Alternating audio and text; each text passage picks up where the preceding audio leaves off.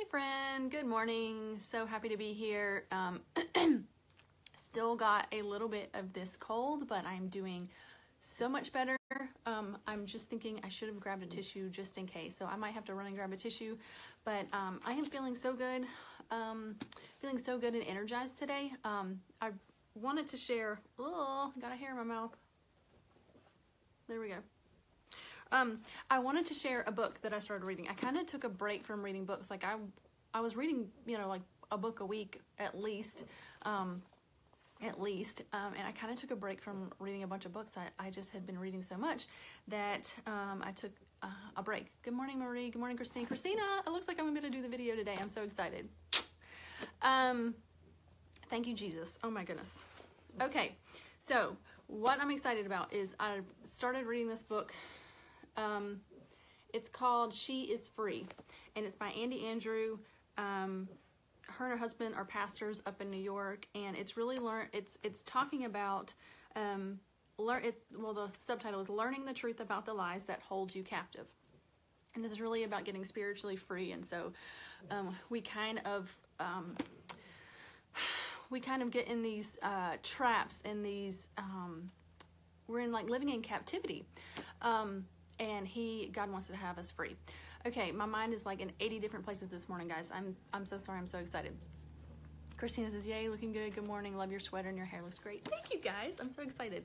Um, yeah, this is a this is a sweater I've actually worn in a couple videos that I've shot. I think it like hides. I don't have to worry about it because it it hides and stuff.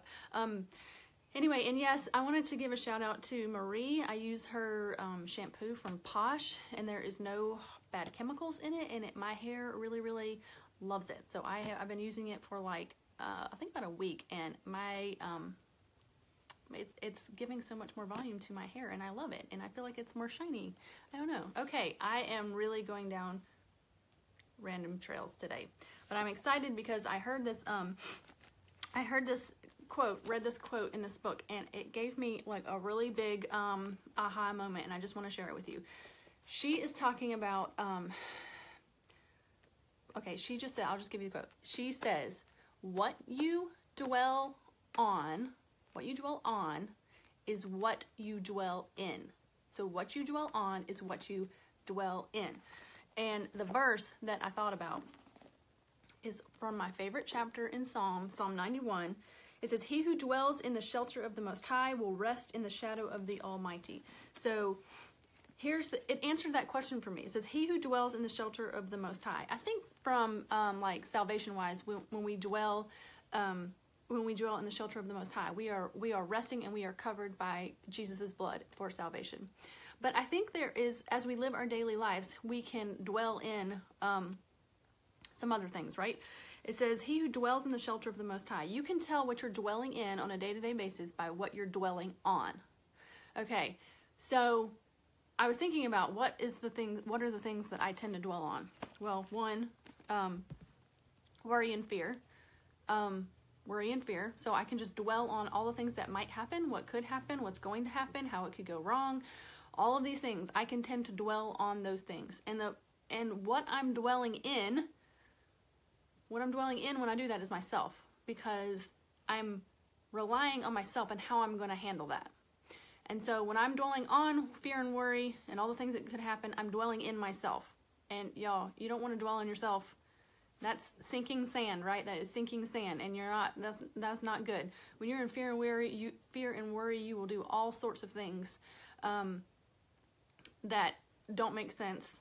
Um, oh my goodness, you can you can make yourself crazy when you are dwelling in fear and worry dwelling on fear and worry. The other thing is um, anger and bitterness. Sometimes we can dwell on anger and bitterness.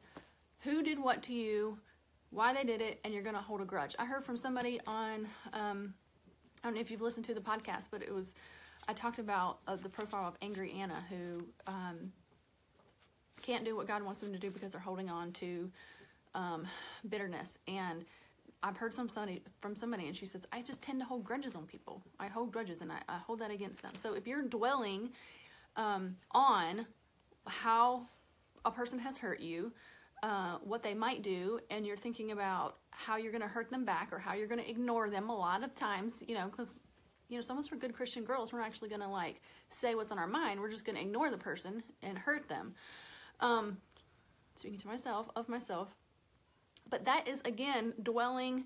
Um, when we're dwelling on that, we're dwelling in ourself because we're relying on ourselves to carry out justice. And we say, they've hurt me and I'm going to take care of it and I'm going to take care of that justice and get them back.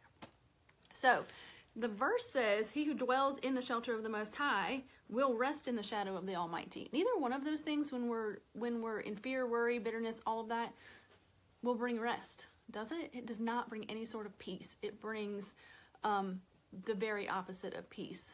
And um, so I think we have to take a look about what we're dwelling on, and the things that we can dwell on, and the things that we can stand on like a rock is God's promises and I think about just specifically those kind of two things that maybe it's just, I don't know, maybe it's just me. Those are my two big things. So I'm going to share about those two things.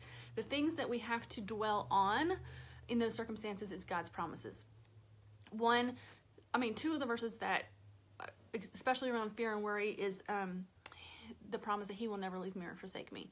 No matter what happens, He's going to be with me through it. And that was, I know I got a lot of freedom. Um, when my kids were younger and I used to worry all the time about whether they were going to die or get sick or whatever. And I found a lot of freedom when I played that out in my mind. I'm like, okay, so what if they do? What if they do get sick? What if they do pass away? What what if? And I played that out and the end of the game was that God's still with me. God would help, just like He helps me parent with them, He would help me in my grief and He would help me, you know, in a sickness. He would be there with me. And that takes the fear away because I can do anything with Christ, right? I can do anything. And so that takes the fear and the worry away. And no matter what happens, um, God would lead us through. He's not going to leave us. And the other thing is that He is working all things together for good. That is another promise that I just stand on when I get to fear and worry is that no matter what happens, bad things are going to happen. We are in, I mean, just, I can't even hardly take the news anymore. Bad things are going to happen. Um, but somehow, in some way, in our lives, He is going to work things together for good. So we can rely on that. And that is when, so if you think about that again, he who dwells in the shelter of the Most High will rest in the shadow of the Almighty. So if you begin to dwell on those promises, then you're dwelling in, um, you're dwelling in God, and that's where you find rest. That's where you find peace.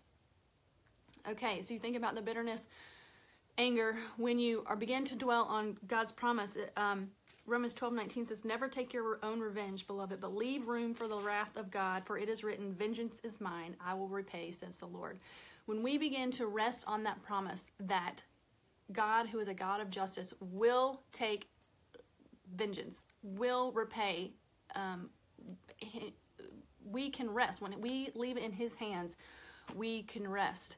Um, and there's no way in our little tiny minds of what we know how we really can administer, administer justice. We just don't know enough about all the situations, all the hearts, um, everything that's been going on to really um, administer justice properly. Only God can do that, and He is on the throne as the judge, and we cannot sit in His seat as judge because we don't know enough. We have to let Him be the judge and let Him take the vengeance and um, deal with that and deal with that person how it needs to be done with. And we can we can rest and that's what brings rest. So we're dwelling on that dwelling on that promise that we can leave it to god and that means we're dwelling um, in god and his promises. And that's where that's what brings the rest. That's what brings rest is peace. We don't have to uh, feel that anger and bitterness and um, hold that grudge because and then we can just rest and let him take care of it okay so I don't know. That was like a big thing for me is to think about what I'm dwelling on is what I'm dwelling in. What I'm dwelling on is what I'm dwelling in. And if I want peace in my life, and I think we all do, that's what we need to do. We need to dwell on his promises. Dwell on his promises, and that's how we're dwelling in God. Um, and he is the rock we can stand on, and his promises are true. He God cannot lie. Um, God cannot lie, so he will do it. Okay, so I hope that brings some peace and rest as you think about that today. As you can see, I feel excited. I'm so excited today. I'm um, I'm excited that I'm not as sick as I was yesterday. Um, and I'm excited because I'm filming with Christina today for her vlog called She. Look it up on YouTube. And she was on the podcast last week. And um, yes, so what, time? what time is it? Oh, it's already 7.37. Okay, I think I said good morning to Marie and Christina. And um, Good morning, Stephanie. It looks like you joined. A couple more people joined, and for some reason, I'm not seeing your name, so I'm sorry. I don't. I'm sorry. If you want to say hi, I will say hi back to you.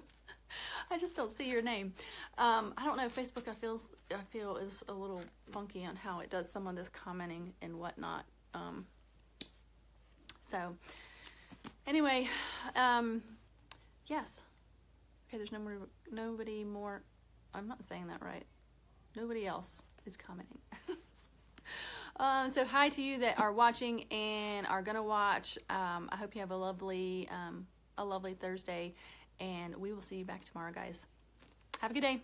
Bye.